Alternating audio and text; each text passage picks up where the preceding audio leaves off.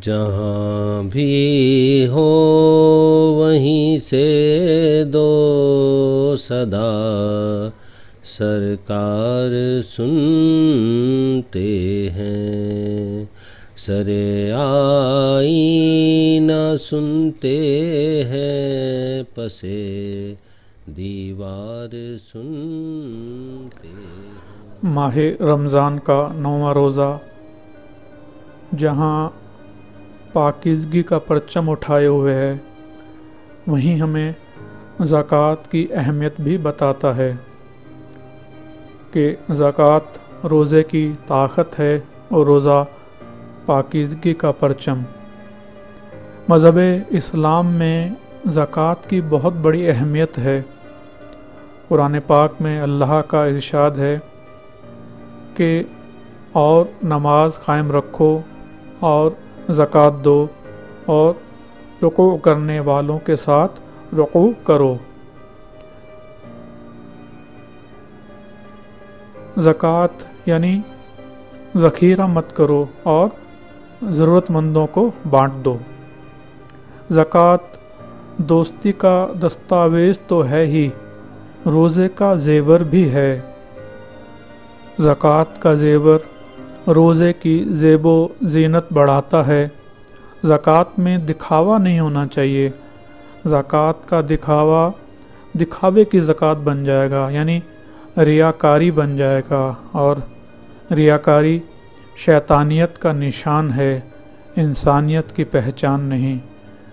روزہ پاکیزگی کا پرچم ہے اور انسانیت کا ہمدم ہے۔ روحانیت کی طاقت ہے روزہ۔ روزے کی طاقت ہے، زکوٰۃ۔ نبی کریم صلی اللہ علیہ وسلم نے فرمایا کہ روزہ رکھتے ہوئے شخص کو بری بات کہنے سے بچنا چاہیے کہ یہ بھی زکوٰۃ ہے۔ ہمارا آج کا پیغام بھی صدقہ دینے کے تعلق سے اور دنیا میں سادگی اختیار کرنے کے تعلق سے ہے۔ نبی کریم صلی اللہ علیہ وسلم نے فرمایا کہ صدقہ کرنے سے مال کم نہیں ہوتا۔ صدقہ دینے والا جب مال کا صدقہ دیتا ہے تو مانگنے والے کے ہاتھ میں جانے سے پہلے ہی اللہ تعالیٰ کے ہاتھ میں پہنچ جاتا ہے یعنی وہ قبول کر لیتا ہے۔ اگر ہمیں آخرت کی نعمتوں کا فیض اٹھانا ہے تو دنیا میں سادگی اختیار کرنا پڑے گا۔ اس تعلق سے نبی کریم صلی اللہ علیہ وسلم کا ایک ارشاد بھی ہے کہ آپ نے بی بی عائشہ سے فرمایا کہ اگر تم قیامت کے دن مجھ سے ملنا چاہتی ہو تو بس تمہارے لیے اتنا ہی مال کافی ہے کہ جتنا ایک مسافر کے پاس ہوتا ہے اور اپنے آپ کو مالداروں کی صحبت سے بچائے رکھنا اور پھٹے پرانے ہوئے کپڑے کو پیبند لگا کر استعمال کرتی رہنا۔ اللہ چاہے تو دنیا میں ہمیں کچھ بھی نواز دے، لیکن ہمارا انداز ذہنی طور پر چاہے ہمارے پاس کوئی مال ہو یا نہ ہو، اندر سے شکر گزاری والا ہونا چاہیے۔ ریاکاری یا دکھاوے والا نہیں ہونا چاہیے۔ اللہ چاہے تو جس کے اندر کوئی بھی خوبی پیدا کرنا چاہتا ہے، اللہ کر دیتا ہے۔ وہ تو جانوروں کو بھی مثال بنا دیتا ہے۔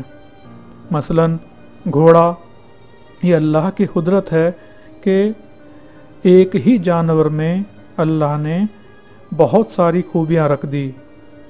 گھوڑا بہت ہی چست، چالاک اور تیز رفتار جانور ہے جو سواری کے کام آتا ہے۔ نبی کریم صلی اللہ علیہ وسلم نے اس جانور کی بہت تعریف فرمائی ہے۔ اللہ تعالیٰ نے اس کے اندر ایسی سوجھ بوجھ عطا کی ہے کہ پیش آنے والے خطرات کو بھام کر آگاہ کر دیتا ہے۔ وہ اپنے مالک کا بڑا وفادار بھی ہوتا ہے اور اپنے پرائے کو بخوبی جانتا ہے۔ حیرت کی بات تو یہ کہ جب اسے نیند آتی ہے تو کھڑے کھڑے ہی سو جاتا ہے۔ یقیناً یہ اللہ کی عظیم قدرت ہے۔ اللہ چاہے تو جس کو جو چاہے نواز دے۔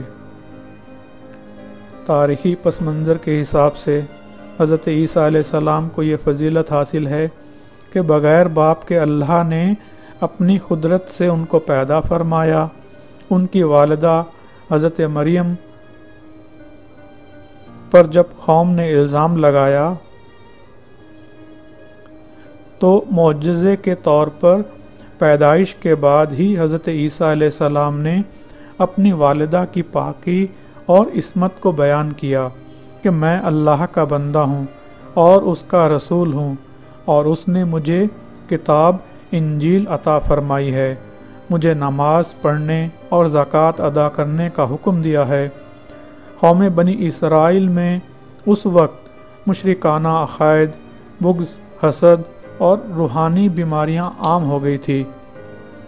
اللہ کے احکام میں تبدیلی، انبیاء کی مخالفت، ان کی بدبختی یہاں تک پہنچ گئی کہ رسولوں کے قتل سے بھی نہیں ڈرتے تھے۔ ایسے ماحول میں حضرت عیسیٰ علیہ السلام نے اس قوم کو ایک اللہ کی عبادت اور اطاعت کرنے اور اس کو اپنا رب ماننے اور سیدھا راستہ اختیار کرنے کی دعوت دی اور فرمایا، حضرت موسیٰ علیہ السلام پر اللہ نے جو سچی کتاب تورات نازل فرمائی تھی، میں اس کی تصدیق کرتا ہوں اور اس بات کی خوشخبری دیتا ہوں کہ میرے بعد تمام رسولوں کے سردار آخری نبی آنے والے ہیں، جن کا نام احمد صلی اللہ علیہ وسلم ہوگا۔ تم ان پر نازل ہونے والی کتاب قرآن کریم پر ایمان لانا اور ان کو سچا رسول جاننا۔ جو ان کے دین پر چلے گا، وہ کامیاب ہوگا۔ جن لوگوں نے حضرت عیسیٰ علیہ السلام کی دعوت کو قبول کیا، ان کو ہواری کہتے ہیں۔ اللہ تعالیٰ سے دعا ہے کہ اللہ ہمارے دلوں سے مال کی محبت ختم کر دے اور صدقہ اور دنیا میں سادگی سے رہنے کی توفیق عطا فرمائے۔ آمین۔